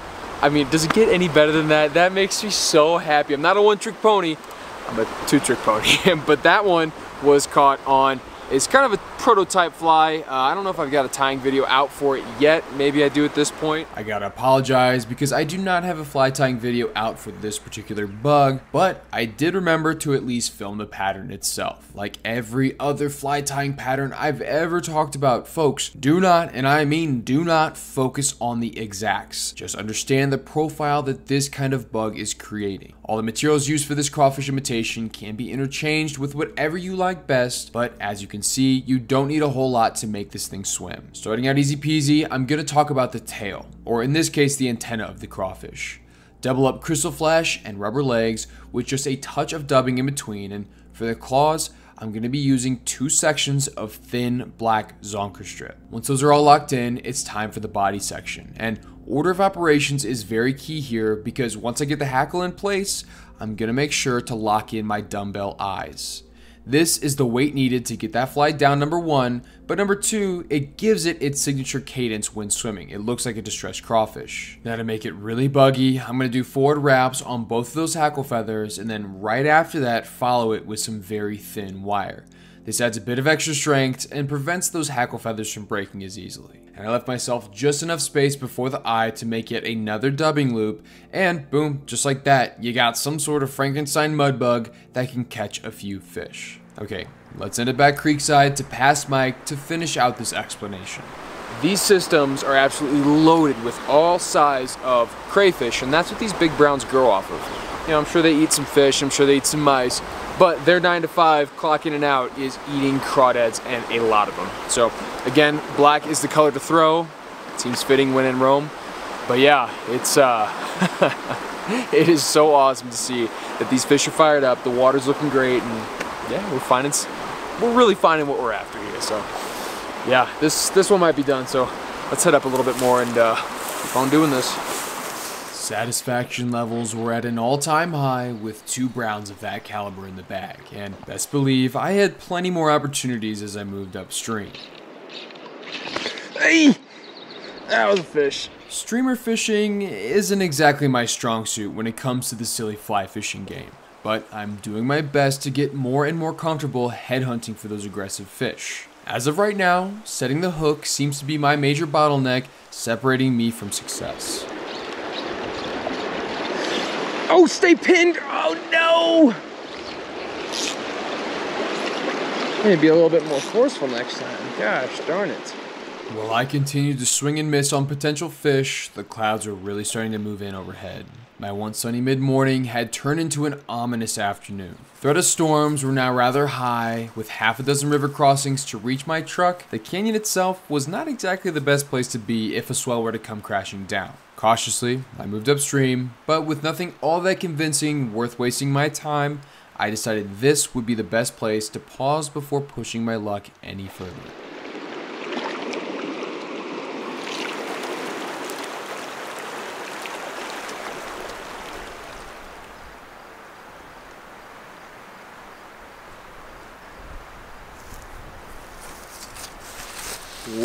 Well, our time here in the Southwest is over halfway done. And that's kind of hard to think. I mean, it's so far it's been so amazing and hopefully you can kind of see why I love these places. The lens never does it justice, but hopefully you can catch just a little bit. But yeah, with this being where it is in the video at this timestamp, I think it might be worth sitting down for a second, stopping the fishing, and saying thank you. And I, I hesitate to do this and include this in the whole, uh, I guess, the whole video because I personally really get annoyed when other content creators that I enjoy watching uh, talk about their brand deals or go over their paid advertisement because most of the time it seems a little disingenuous and I just feel like it's forced upon you because I don't know, are they really using HelloFresh? Are they really using Manscaped? I don't know.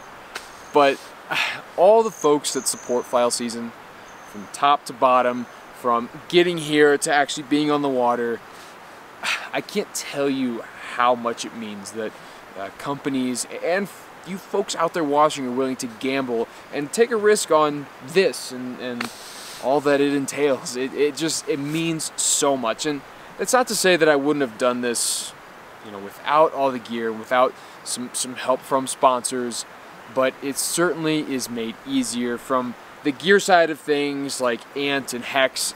They've been here from the jump, you know that. And Adventuron and Backcountry Skins and even Broder hopping on as of recently. It just, it has made things so seamless. And, you know, on the more kind of backside, the information side, trout routes, I've used it so much down here.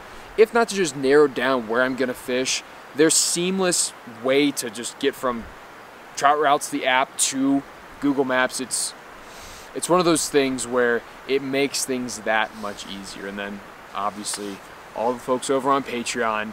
I know I don't post on there as much as I should, but to make these big productions and edit while working a job, it's not easy. So I do my best with Patreon, but your support is not forgotten.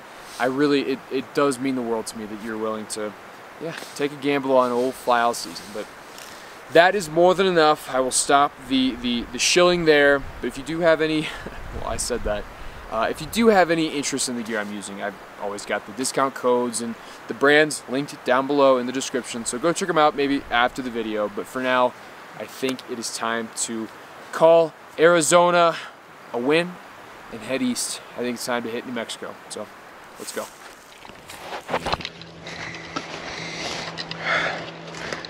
Speedily backtracking my boot tracks on the trail, I was fully convinced of two things. One of which being that this might be the last time I get to see this amazing river, and the second being that I might catch a stray lightning bolt to the face if I did not pick up the pace. You see that up there?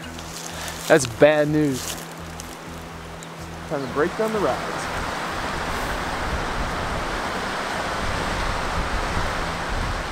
Luckily for me, I was able to ride the wind of that howling front all the way back to my truck, safe and sound. With my first move of the summer coming in just a few days, my eyes were steady on the road home, but my mind was stuck on all the packing and organizing that still needed to be done back at the ranch.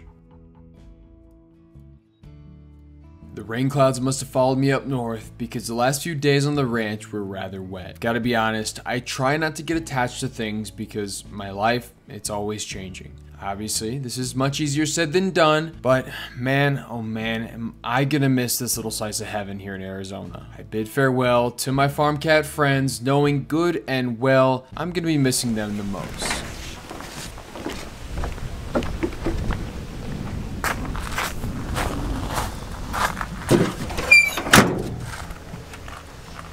So, with nothing left to do, I saddled up and I hit the road. I had quite a bit of ground to cover before I could rest my head over the border in New Mexico.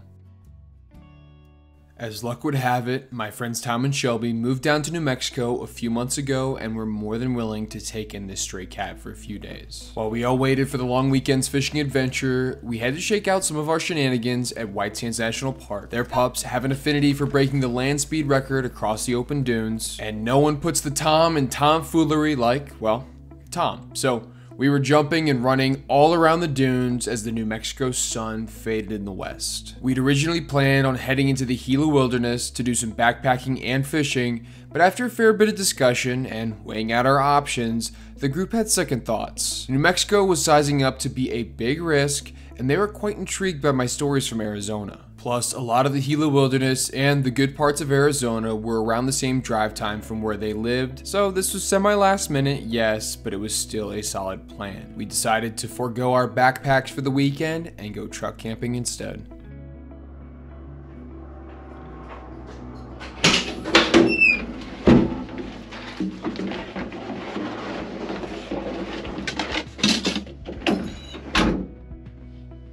Memorial Day weekend now at our doorstep, we decided to get an early start as to avoid the inevitable crowds. It was pedaled down through the open desert until the White Mountains started to pop up through the sagebrush flats. I find that slow changes in the scenery help to keep the eyes fresh and the mind intrigued on longer drives like this because before I knew it, I was rolling up to camp. Holy Toledo. This is a camp spot. Good lord. There she blows. That do be her. Wow, we kind of got an incredible spot here. That is so stinking cool.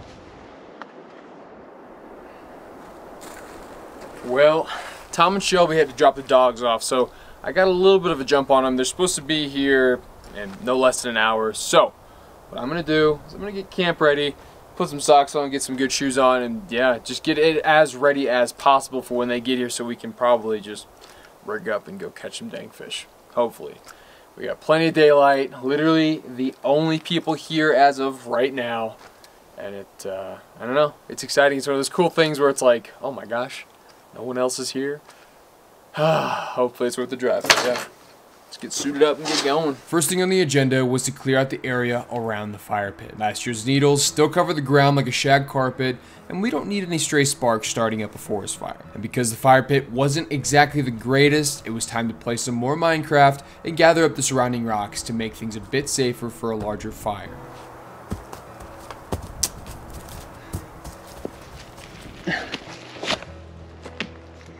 As I started restacking my big pile of rocks, I heard some gravel popping off in the distance, and it sounded like Tom and Shelby had made it.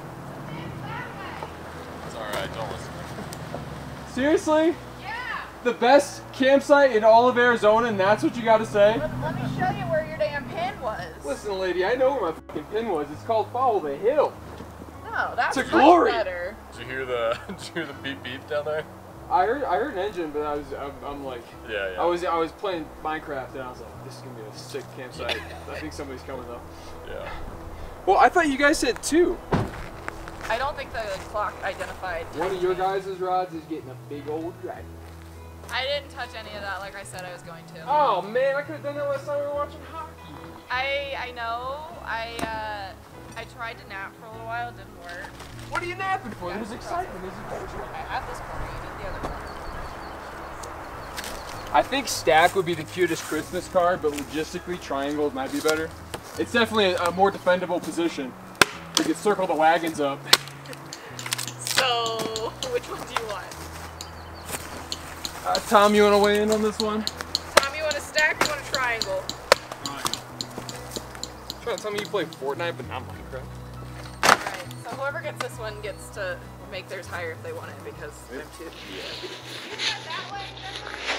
Yeah, yeah, there's we'll angle down. But like one of the comics was his dad was talking about. Yeah, I do see what you're saying about the room there. Yes, uh, I got I got I, like I said, I got two pair or two extra pair. This is what happens when uh I This just is what I needed. This is nice. packed everything else. Packed everything else. It looks pretty comfy.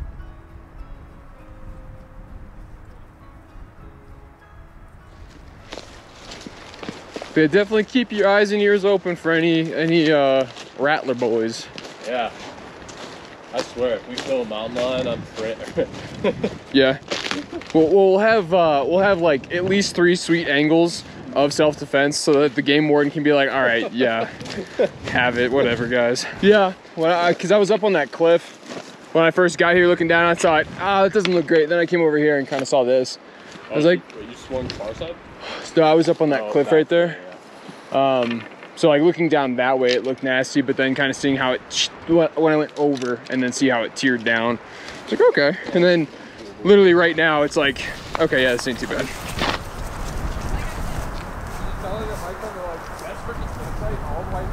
No, but I'm No, this is in in all reality, this is not that bad. So if we were to keep going that way, uh, maybe another two or three river miles, that's the reservation. So there's a line there where Is it like a hard fence? Have you been down there? no, I, I doubt it's a hard fence, but Because I know our reservation has hard fences, like even through the woods. I'd Yeah, be with the way this floods, I would be so surprised because it blows. It I'm blows sure out. it blows completely out. Up to But just for for reference, that we're kind of in this weird middle zone because the main axis that I fish is up there. Yeah. The boundary Was for the it res the is right there. Yep. roughly where you fished last time. But I, I went upstream and didn't make it that far. So that's what But I'm you saying. started at Wildcat Bridge. roughly. Right. Okay. We have, we've got this really nice cushion between us bridge I pointed out and between us on that end. So this is, now again, I'm not making any promises, but this is this is kind of ideal for Looks like fish yes. I think we can all agree that fish are never a guarantee, but the more variables you can take out of the equation, the better chance you have at actually catching them. But with a very popular weekend for folks to get out and about, this could be the distance needed to avoid those overwhelming crowds, which makes it tough for fishing. So with no more time to waste, we got down to the water and started fishing. Tom was up first, and I did my best to offer up the best advice I could on how to fish this kind of water. Hi, hi, hi, hi. And bring it bring it over towards me. So, yep. And then roll cast it out. Roll cast it out. Out, yep. Perfect, okay? Now get two hands on it and start stripping. Start stripping. Get that trigger finger. Fast, fast, fast, super fast. Boom, boom, boom, boom, boom. Fast, fast, fast, fast, fast. Yep, yep. Okay, now just kind of pull your rod. Don't strip anymore, just pull your rod, pull your rod, pull your rod. Perfect, okay. Now start whipping it out there again. Letting a little bit of line out. Using the, yeah, the water will grab it, so use the physics of the water itself. And if you can, this next cast, get it just a little bit further, the, the, the angle that you had the other time, so get it just a little bit down. Did you feel something? Yeah, I felt the bump. Could have been a rock. Ooh. Perfect. Okay. Give me like a four count before you start stripping. Okay. Now we're really strip fast, fast, fast, fast. Really want to move water with that. Move fast, fast, fast, fast, fast. Yep, yep. Kind of just pull it, pull it, pull it. Because they will chase it all the way to the bank. Okay. Yeah. Keep letting it rip. Pretty perplexed, there was nothing in this run willing to come out and eat. I decided to run back over where Tom was fishing and got hit with a very pleasant surprise.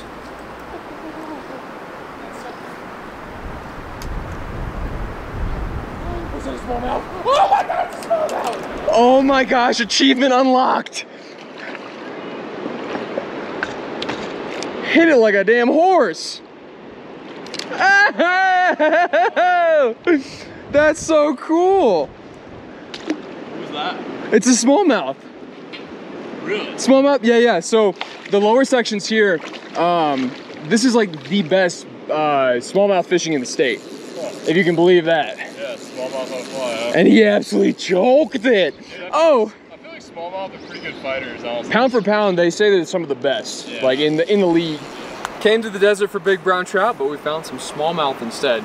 This section of the river is pretty neat because it actually does have a really healthy population of these little invasive bass, but man, they crush, absolutely crush the fly, and I'm, I'm kind of stoked on that. So I'm gonna let him back and we're gonna keep moving upstream. Day one has just started, but started with a bang, all right? Let him do his thing.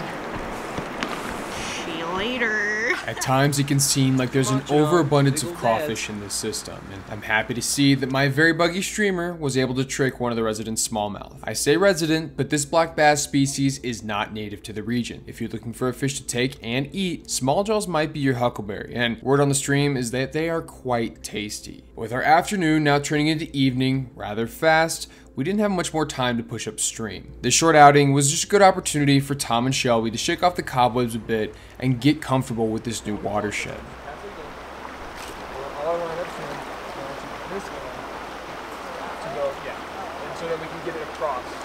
To the other side. But it's it's almost like it's a that is one singular cast. Like there's no real like stop start. There you go. Lift it up. Maybe give it a little bit of weight. Lift that rod, load back up again. Okay, we're getting there. We're getting there. We had a few more opportunities, but these canyon fish were mostly eluding us. And I think I think you could really take advantage of that. I think so too. Yeah, so I was just ripping this massive hog. Yeah, this full horseshoe. All right, you've hit it twice. Take some steps over to your left, left, left. Your left You want to be going this way. or our left. That's a fish. That's a fish. That's a fish. Oh Thomas. no! That was it. I was ready to do me a dolphin dive in there and get it, bud. It's unfortunate we couldn't find any more fish on the day, but we would quickly forget about that slight sucking in favor of the vertical hell we were about to have to climb back up. This angle was more than doable going down, but my goodness gracious, it sure was a bear to go back up. Not impossible, just a whole lot of suck. We may have had to take a couple breathers along the way, but we eventually made it back up and over this gnarly hill and into camp. Dragging our lifeless husks back towards the trucks, we were all a bit gassed and ready for a proper dinner.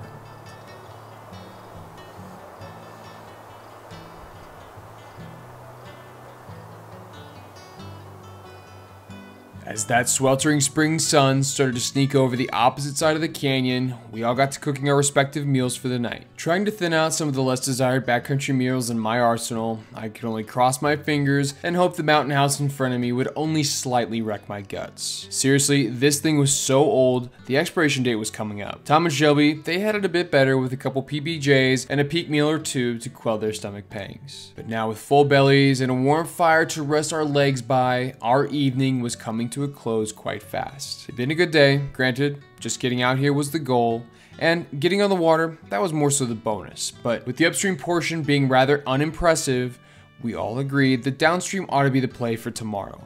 The fire started dimming down, and we were all ready to hit the hay. This crew, we needed all the rest we could get for the next few days.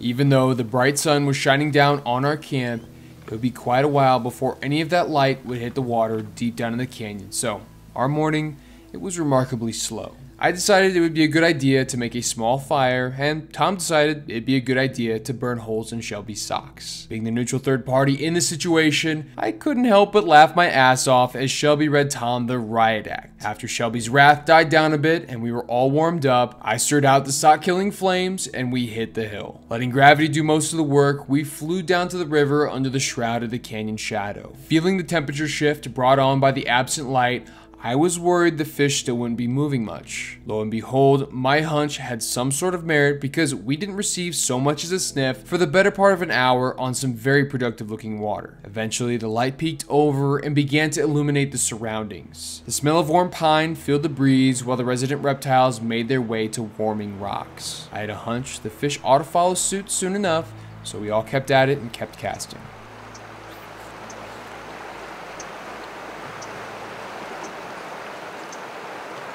Set.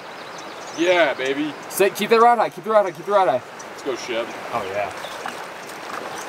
In a little bit. Nice. Yes. Skunk is off. Let's go, Shep. Beautiful little brown.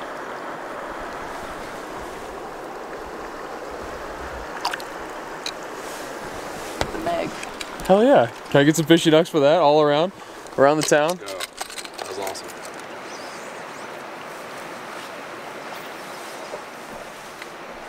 This lady's out here two for two. There's like the fighter. Keep the rod high, keep the rod high. Well, that must be a rainbow. Oh no no no no no. No no. Horse him, that's heavy tippet. Horse him, horse him. He's on the tree. Is he stuck? Yeah, he's, he's on the tree. Uh, Tom, you hold the rod. You get you get the the net. Speed. Speed will solve this. Got him? Yep. Nice. No. Here you go. Here you go.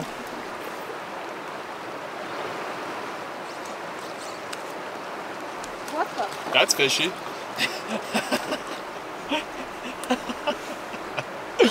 I was going to reset. Hi, Mr. Guy. I guess someone else can have it.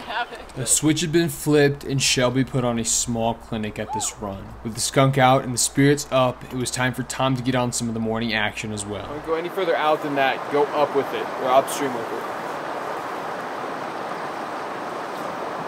Yep.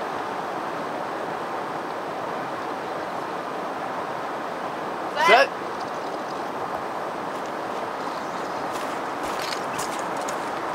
Keep that rod high. Keep the rod high. It's a great fish, man.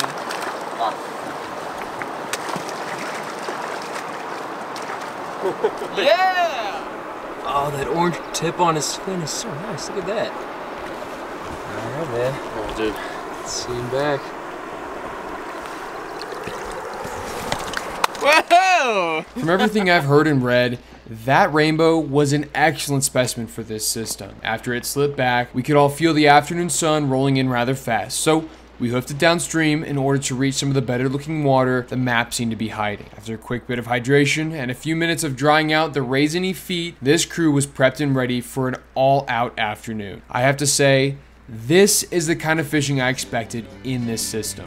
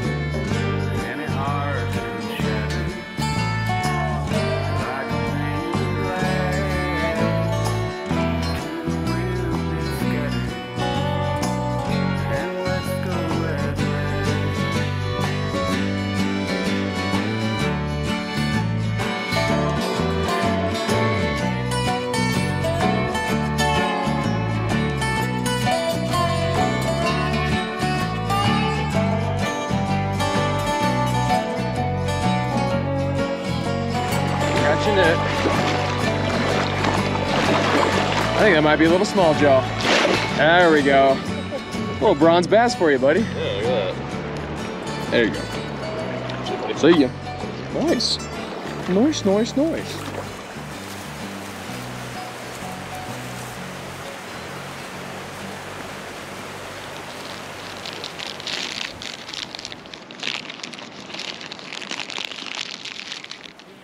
Truly amazing how fast a day can slip away when you're actually catching fish. We all managed to find more than a few beautiful Arizona trout and as we prepped for the hike back. Spirits were riding high. As we expected, the day had warmed up considerably, and Tom and I both agreed it would be a phenomenal idea to jump in and enjoy this swimming hole. Was it worth it? I'll be here all day, all night.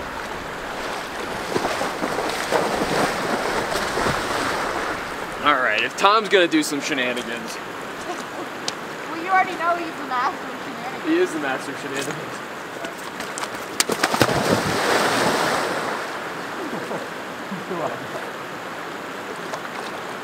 I'll sit here with laughing all day. Oh my god, this actually feels so good. Why don't we fish like this? Chef, throw, throw, a, throw a hook in here, all right? I'll pretend to be a huge fish. Oh my god, we got him! Look at this. Look at this. That was so much fun. I know. It's not too cold. It's not too cold out in the air. It's not too cold in the water. Yeah, it's kind of it's kind of like we're riding that perfect line. If it was any colder one way or the other, it'd be like. With the fun now over, it was time to suffer. The camera will never truly be able to capture up the pure amount of suck this hill brought to the table, and it's a bit of a stretch to call it just a quote unquote hill. I've met a lot of nice hills. This was not one of them. With the intense angles, loose soil, and thorny underbrush, everything in this canyon did its best to drag you back down to the water. Jelly legged, we all managed to make it back up and over the edge, and once again, we needed to attend to our empty stomachs. I feel like we didn't go as far sideways. We, we maintained a good lateral. Yeah, the deviation that was on my that was on my behalf. I, I deviated. Choco, please. So while clothes dried and electronics got recharged, Tom and Shelby got to making a little bit of breakfast for dinner while I was again on that freeze dried grind. The sun set over the pines and we all munched down in pure bliss. With Jack's influence from earlier in the trip, I had to dig into my stash of marshmallows and satisfy my sweet tooth with a few golden nuggets slowly rotated over the fire. Today had been just about perfect, and other than scaling down that hill again, we were all eager to see what tomorrow had in store. Another front seat slumber was followed by a much needed fire. The morning glory was pouring in yet again, but the chill of the night was still ever present. Getting our gear to fully dry out after being sweaty and waterlogged all day was no easy task. But going on day three, we were all used to slipping on damp wading accessories and just cringing through the cold discomfort. Ready as we'll ever be for the last time we made our way down this forsaken hill. What's that? We had a really good pass and somehow we did not like it. Right. I, th- I I think I think we hit it really well right there. It's just getting down there's the problem.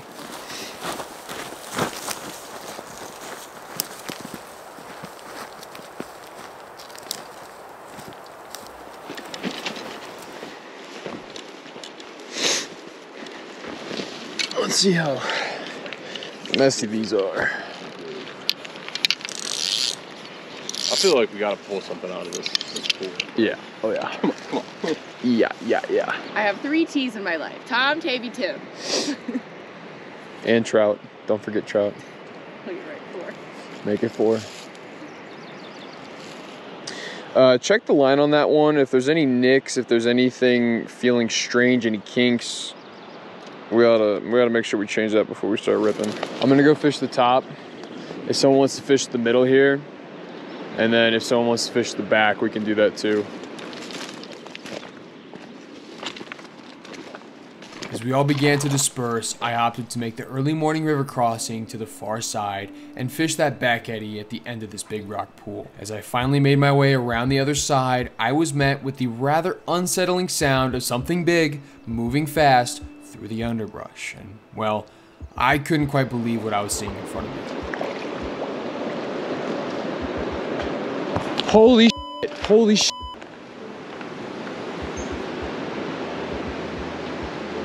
That was a mountain lion. Help us on the way, dear. probably find a way to go up and stuff. Well, you see how the trees line that little crack to the right behind the willow, the big willow? Yeah, I think he's up in there. this little valley. Cause that's where he took he took a left up on the other side of the rock. Oh, you saw him over here? No, I saw him behind the tree take a left.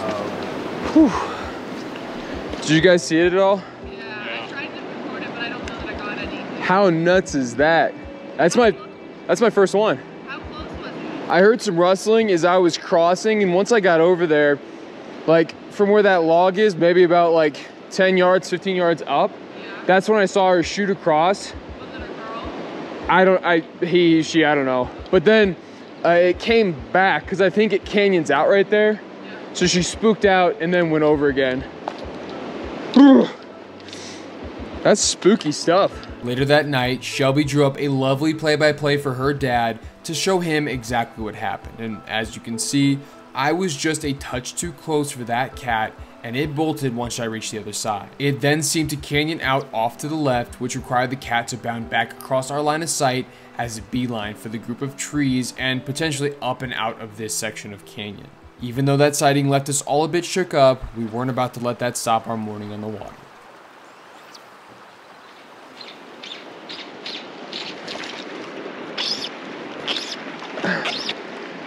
All right, well, we didn't get skunked. Beautiful. Let me know when you got some. Nope. Good. All right, I'm gonna drop the net. Let him go right here. Thanks, friendo. Cast over to your left into that current. And really just rip it through.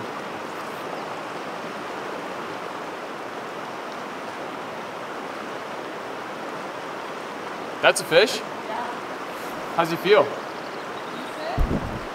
He's fighting like he's decent. It didn't take it very hard, but now it is. All right, buddy. Okay, fine. Oh, he said, yeah, I'm fine. I was gonna give you a break. Good stuff. What transpired yesterday compared to the fishing today could not be any more night and day different. We're using the same tactics and fishing very similar water, but for whatever reason, upstream was not working out. As our hopes were beginning to fade, Shelby managed to find herself a pretty feisty rainbow, which was a cherry on top. But outside of those two fish, we didn't sniff another bite the entire session. We noticed fish activity was much lower, and the numbers of anglers present had risen drastically. As we were making our way back up, we must have passed four different parties of anglers making their way downstream from the bridge access point. I got that feeling in my gut that something needed to change, so I piped up and offered up a plan B for the group. I I would hate to use desperate, but you know, options are starting to run thin. This is what I was half expecting, you know, with people getting here and making it a little bit more crowded. Um, if Tom, we're stopped. if we were to bail right at this second, we could get out, get to Alpine, potentially have a diner open, be able to sit down, kind of plan. Because any later, I think I, oh, I don't know. I, I'm feeling like we won't have the motivation to bump down some two track, sit on a dirt road for an hour, and then get to service 5 p.m., 6 p.m., 7 p.m. Well, it is 10:30. It's gonna take us an hour out, at least. so two. Call it two. It's gonna take us an, about an hour to Alpine. Hmm. how opposed to an afternoon, evening lake? Because then I'm sure there's a campground like dispersed camping, super easy to get to from Alpine. How do we, how, honestly, how do you feel about staying here? Not great. I mean, fishing the rest of the day I think would be a wash. I mean, we've caught two, and it's been tough for the first two, Three hours, three hours, and now we've seen six, seven people. one, two, three, four. Uh, There was four dudes that left there, and that guy. That's four there. The fifth. Oh, shit. Six. Yeah, dude. There was. I didn't three- see those four Yeah, 'cause guys. you guys were facing this way. There was like three dudes that walked out, and then that other guy walked out. I was like, what the fuck? holy smokes, clown car. Um, yeah, then I, I say we get the because if they've come this far down, you know, That's already pretty far. already fished like What is that, four or five miles? One one buddy came from up there. Another buddy, well, I, I don't know about the dog guy. I bet he came from the bridge. I mean, I think it's still But gonna that's be, probably three or still four gonna miles be fished from out here. wherever we go, but Right. I'm fine with just changing it. But up also, and like a seeing lake something is else, not too. like you don't have to like fight. Is I feel like No, it's just like find a spot and sit. yeah, because like here you don't want to be on top of them Sure. within Yeah, let's a go. couple then. hundred yards. Let's just go. Let's do something else. So, leave Alpine game plan. Lake being spot one, Gila being spot two. Find a campground Yeah, yeah, Yeah. yeah. Okay. Let's do it. Okay. Or find a clearing. Even though this trip had been a somewhat last minute switch up, I could not have been more happy with how it turned out. Holiday weekend and all, we'd managed to escape the crowds for a few days and find some really great fish. Add in a mountain lion sighting, a couple river baths, and of course, endless jeers around that fire pit, and this was just about perfect. Well, perfect except for that hill. And I'm speaking on behalf of Shelby on that because her hate for this hill is almost immeasurable. Begrudgingly, I have to agree that this wasn't exactly my best plan, but in all fairness, access down in order to get to these fish and avoid the other anglers was almost a necessary evil. So as we all successfully scaled this beast one last time, we gathered all our belongings and unceremoniously threw them into the back of our respective vehicles to be dealt with at a later juncture. For now, it was time to bid our fantastic camp farewell and hit the road. Now, for continuity purposes, I figured I would leave the rest of this in, even though we didn't really have much luck at our plan B.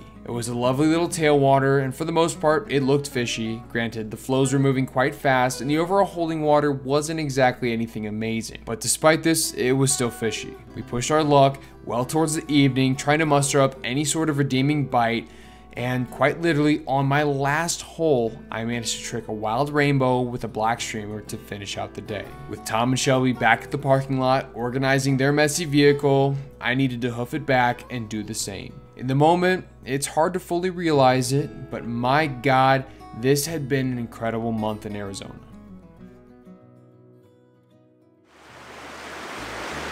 Well, folks, if you are seeing this, then that means the video is over. The last southwest sunset is slowly making its way to the other side. And all I have to say, like always, is thank you. Thank you so very much for sitting through and watching this video all the way to the end. It means the world to me that you guys like these videos, that you can relate and, and, and share these with your friends and kind of the similar experiences that my friends and I go through. It's, know, it's really cool. For me, it's about capturing these memories, but I'm so happy that there's folks out there who can, yeah, laugh long, enjoy it, and yeah, maybe learn a thing or two along the way. But folks, before I skedaddle, I just had to make a couple of thank yous, as always.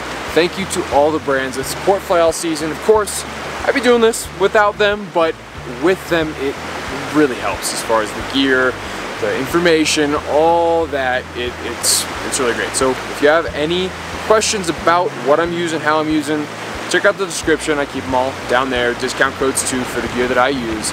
All great brands, all great people. You know who you are. Thank you so very much.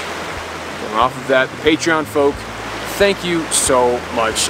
Again, it's amazing to me that there's people out there who are willing to, yeah, send out a little bit of their hard-earned money to help make something like this happen. Because it's a lot, it's a lot of work, logistics and gas and gear. I mean, it, it gets expensive. So just know all of your uh, very generous offerings are being used to its fullest to, yeah, bring you more stuff like this. So folks, that is quite enough for me. I gotta book it before I'm hiking out in the dark. So wherever you find yourself, be it in the beautiful Southwest or in your backyard, make sure to keep those feet in the water. Until next time, tight lines.